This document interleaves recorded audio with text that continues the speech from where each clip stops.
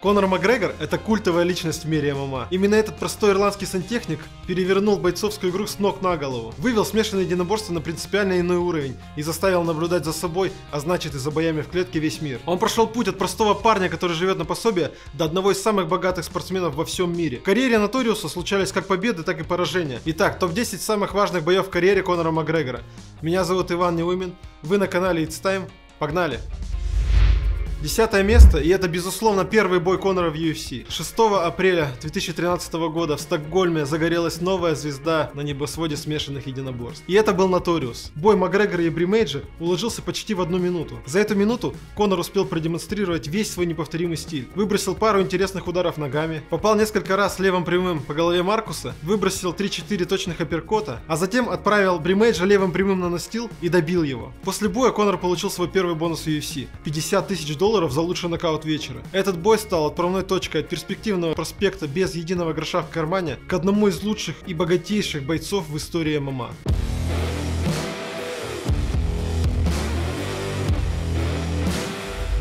Девятое место, и это второй поединок Макгрегора в UFC. 17 августа 2013 года против Макса Холлоуэя. Изначально соперником Конора должен был стать англичанин Энди Огл, но он снялся с боя из-за травмы, а на замену вызвался Макс Холлоуэй. И этот поединок примечателен тем, что он позволил нам лучше узнать характер ирландца. Ведь в момент боя, в котором, кстати, Макгрегор доминировал от самого начала до самого конца, он порвал переднюю крестообразную связку колена в середине второго раунда, но продолжил биться и выиграл тот бой в доминирующей манере. К слову, футболистов, если во время матча случилась такая травма, уносит с поля на носилках. Этот эпизод показал миру, что Наториус готов мужественно переносить невзгоды и имеет несгибаемую волю к победе. Качества, без которых стать чемпионом просто невозможно.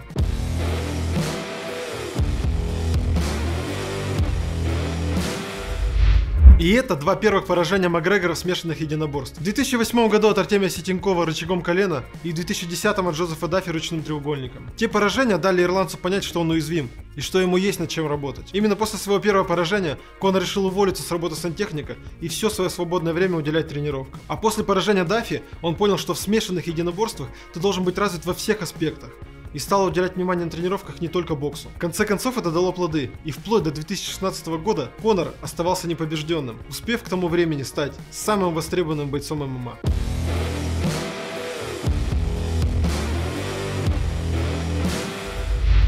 Седьмое место. Два боя в июне и декабре 2012 в организации Cage Warriors, после которых Макгрегор стал чемпионом в двух весах одновременно. Да, именно так. Перед тем, как стать двойным чемпионом UFC, ирландец уже обкатал эту схему в английской организации Cage Warriors. Оба боя прошли в родном для Наториуса Дублине. В полулегком весе Конор одолел Дэйва Хилла, к удивлению многих, заставив его сдаться удушающим приемом сзади. В легковесовой от удара Макгрегора пал Иван Бухингер. Так, ирландец впервые стал двойным чемпионом. Именно в этом статусе он перешел в UFC. Эти бои примечательны не только тем, что Конор в них показал свои чемпионские амбиции и потенциал, но и тем, что Макгрегор умеет учиться на своих ошибках. Что после двух поражений он сумел провести работу над исправлением своих недочетов и вернуться более качественным бойцом. Именно за проявленный бойцовский характер и чемпионский дух эти бои занимают седьмую строчку нашего топа.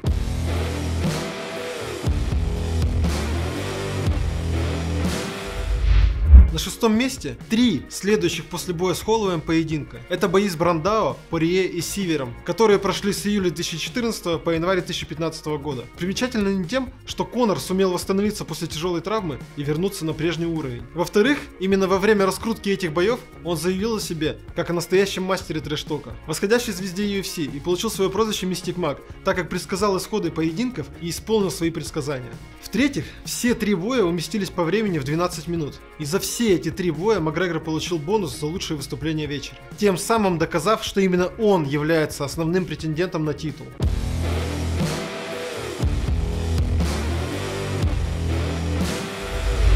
Пятое место. Бой с Мендесом 11 июля 2015 года, UFC 189, MGM Grand Arena, Лас-Вегас. Именно здесь главный претендент на титул Конор Макгрегор должен был сразиться с настоящим королем дивизиона. Паунд for паунд номер один на тот момент чемпионом Жозе Альдо. Однако этого не случилось. 23 июня Альдо получил травму ребра в спарринге и отказался от поединка. UFC предстояла сложная задача – решить, каким же будет главный бой вечера, и они нашли решение. Конор на тот момент занимал в рейтинге UFC лишь третью строчку. На первом же месте после чемпиона шел Чет Мендес. И хорошим решением стало свести первый и третий номера рейтинга в битве за временный титул. Многие отдавали предпочтение Мендесу, говоря о том, что это сильный борец и шансов у Макгрегора не очень-то и много. Справедливости ради отметим, что Чет действительно смог несколько раз перевести ирландца на землю и нанести ему урон в партере. Но те удары по корпусу, которые Конор доносил все время в течение первого и второго раунда, оказались непосильной ношей для американца. Конор отправил в нокаут уставшего Чеда в конце второго раунда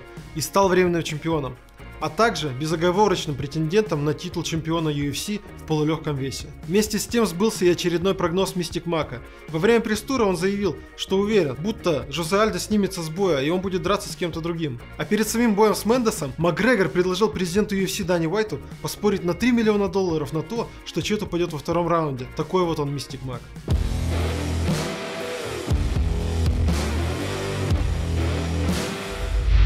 На четвертом месте два боя с Нейтом Диасом. Оба этих боя состоялись в 2016 году. 5 марта Конор должен был сразиться с Рафаэлем Досанисом, который был чемпионом легкого веса на тот момент. Макгрегор, будучи чемпионом полулегкого веса, намеревался стать первым в истории организации чемпионом в двух весах одновременно. Но его планам на тот момент не суждено было сбыться. Бразилец, менее чем за две недели до боя, получил травму ноги и снялся с поединка. Сам Макгрегор прокомментировал травму Рафаэля следующим образом. «Я видел снимок, это же просто ушиб. Если бы я просто пришел с таким таким рентгеном к врачу, он бы дал мне пощечину и сказал, «Сынок, что ты делаешь? Прекрати, убирайся отсюда». Однако факт остается фактом.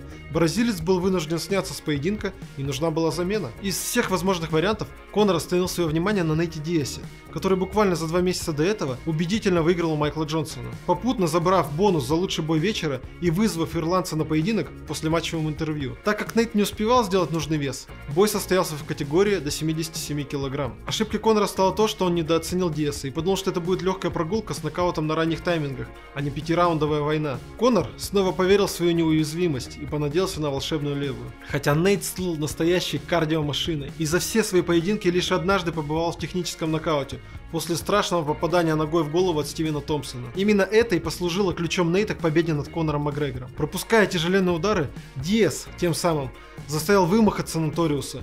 И жутко уставший Конор уже к середине второго раунда выглядел обескровленным. Воздуха мышцам ирландца категорически не хватало. И к концу второго раунда Нейт сумел выйти на удушение сзади и заставил постучать чемпиона полулегкого веса, у которого уже просто не было сил сопротивляться. Моментально Диас стал одним из самых известных бойцов ММА, а Конор знал, что ему предстоит очень серьезная подготовка и пятираундовая война с американским мексиканцем. К чести ради, Нейтан согласился на незамедлительный реванш в 77 килограммах. Хотя, конечно, смотря на те деньги, а это около 13 миллионов долларов, которые Диас смог получить за их второй бой, было понятно, что реванш неизбежен. Второй поединок, конечно же, прошел в ином ключе. Конор не форсировал события и вчастую забрал первые два раунда, попутно уронив Диаса несколько раз в нокдаун. Но к третьему раунду бензобак ирландца снова начал пустить. Пережив настоящий ад в третьем раунде, Макгрегор Ко всеобщему удивлению, к четвертому раунду смог восстановиться, а Диас к тому моменту уже сам подустал. Потому мы получили пятый раунд на пониженных скоростях,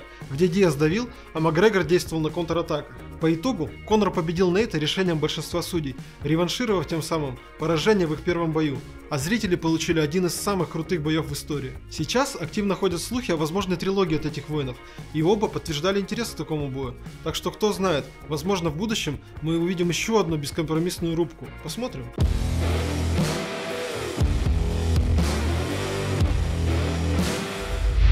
Третье место. Бой Сальдо. Долгожданный бой ирландца и бразильца состоялся на турнире UFC 194 в Лас-Вегасе. Этого боя ждали абсолютно все, кто хоть сколько-то интересовался ММА. Казалось, даже те, кто ММА и не интересовался никогда, и то ждут этого боя. Люди хотели знать, кто же сильнее, главная выскочка ММА, Конор Макгрегор или же чемпион, паунд for паунд номер один, не проигрывающий на протяжении более чем 10 лет Жозе Альдо. Все были предвкушения эпичнейшей битвы, гадали, как же все-таки повлияют на исход боя хлесткие лоу-кики Альдо, его выносливость и жесткие удары но этого не произошло. Макгрегор не просто забрал у Альда титул, не просто нанес первое поражение за 10 лет, а сделал это, попутно установив рекорд за самый быстрый нокаут в титульных боях, нокаутировав Альда за 13 секунд после начала поединка. Конор забрался в голову Альда настолько глубоко, насколько это было вообще возможно. Этот нокаут стал квинтэссенцией всего того давления, которое легло на плечи Жозе. Альда проиграл ментально этот бой еще до его начала. А Макгрегор в этом бою смог доказать многим, что они ошибаются на его счет, и что с ним действительно придется считаться.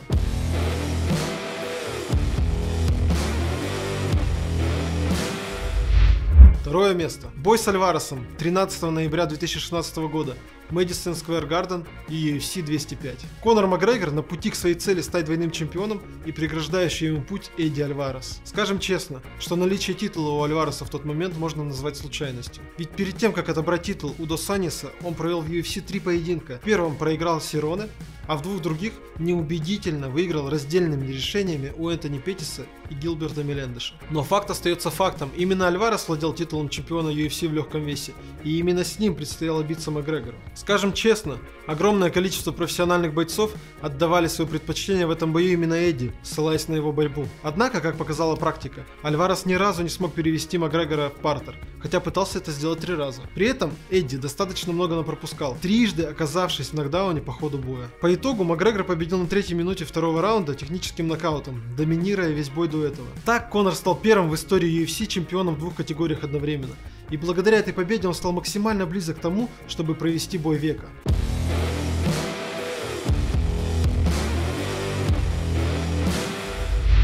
Первое место. Бой с Мейвейзером. Безусловно, главный бой в жизни Конора Макгрегора. До появления этого ирландца на горизонте мало кто мог даже представить, что возможно организовать событие такого масштаба. Непобежденный, один из самых сильнейших боксеров за всю историю спорта, великий чемпион Флойд Мейвейзер. Против двойного чемпиона UFC, спортсмена, одно упоминание о котором делает тебя богаче, мастера смешанных единоборств Конора Макгрегора. Когда только пошли слухи о возможности такого боя по правилам бокса, люди уже начинали доставать кошельки и готовы были заплатить лишь бы это увидеть. Естественно, будучи умными бизнесменами, ни Конор, ни Флойд такую возможность упускать не собирались. И вот, 26 августа 2017 года в пригороде Лас-Вегаса на T-Mobile арене свершилось сие действие. Как мы с вами успели заметить, зачастую Конору давали мало шансов в прогнозах на его бои, но он всегда, почти всегда, умудрялся выходить победителем. Однако в этом бою практически никто не верил в победу Макгрегора, и это было более чем справедливо. Ведь он, будучи новичком в профессиональном боксе, выходил на ринг против, возможно, одного из самых сильных и умных боксеров за всю историю этого спорта. Не будем разглагольствовать и скажем честно, Флойд выиграл этот поединок достаточно легко, дав дожить Конору до 10 раунда, а затем заставив рефери вмешаться и тем самым зафиксировать победу Мейвейзера техническим нокаутом. Но после боя практически все эксперты в один голос утверждали, что не ожидали такого хорошего боя от Макгрегора. Он показал отличное движение в ринге и несколько раз сумел поймать Флойда неплохим ударом. Но этот бой важен не с точки зрения спортивной составляющей, ведь еще с самого начала зарождения слухов было понятно, кто его выиграет. Сама суть того, что это стало возможно благодаря упорному труду, силе воли и железному характеру Макгрегора, стала мотивацией для других бойцов. Они поняли, что могут зарабатывать большие деньги, занимаясь любимым делом. А если хочешь посмотреть, кто же больше всех заработал в UFC за всю историю компании, об этом я рассказываю здесь. Надориус же за этот бой заработал 80 миллионов долларов, став одним из самых успешных спортсменов того года.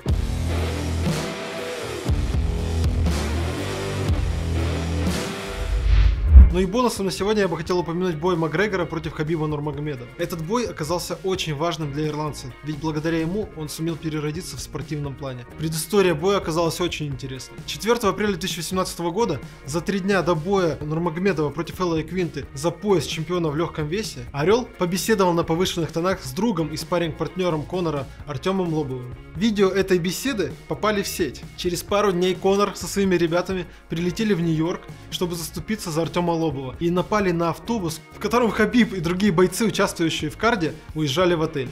После чего у Конора были долгие судебные разбирательства, а Хабиб 7 апреля стал чемпионом. Все было сделано, осталось только назначить дату и билеты раскупят как горячие пирожки. Так и случилось. Дата была назначена и нас ждал мегабой 6 октября 2018 года в Лас-Вегасе. Этот период, который начался сразу же после боя с Флойдом и закончился в поединке с Нурмагомедовым, был темным и печальным для ирландца. Он постоянно попадал в скандалы, история с автобусом, сломанный телефон фаната, удар пожилого мужчины в бабе за то, что тот отказался пить его виски. Казалось, Макгрегор погряз так глубоко, что выбраться оттуда уже просто нереально. Так и было. На пресс-конференциях перед боем от остроумного мастера трештока Конора Макгрегора не осталось и следа. Он то и дело просто оскорблял Нурмагомедова, его семью и религию, пил виски и снова оскорблял Нурмагомедова. Хабиб же сохранял хладнокровие и не дал забраться к себе в голову ирландцу, несмотря на попытки последнего. Сам бой прошел ожидаемо. Хабиб в первые два раунда предсказуемо законтролировал Конора, а в четвертом заставил его постучать, оказывая давление на шею и челюсть. Единственным утешением в этом бою для Наториуса стало лишь то,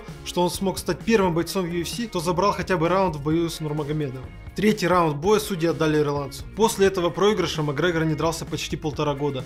А в недавнем бою против Дональда Сирона он предстал совершенно другим человеком и бойцом. Он тщательно готовился к бою, соблюдал режим и не выпивал спиртного. А во время пресс-мероприятий не было никакого трештока, а только взаимное уважение от обоих бойцов. Более того, в этот период Макгрегор не был замечен ни в одном скандале. В самом бою он легко переехал стойкого Сирона, продемонстрировав невероятный настрой и блистательную технику. И все же, действительно ли Макгрегор изменился и стал сильнее, или же это лишь кратковременный эффект от боя с Хабибом, покажет только время.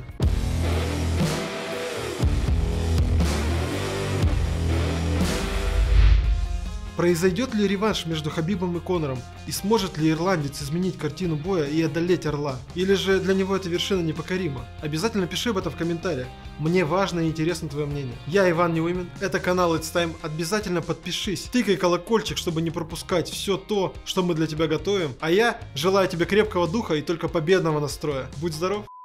Ирландец, ирландец. И получил свое прозвище Мистер Мак. Мистер, Мистер. Фу. Мистер Твистер.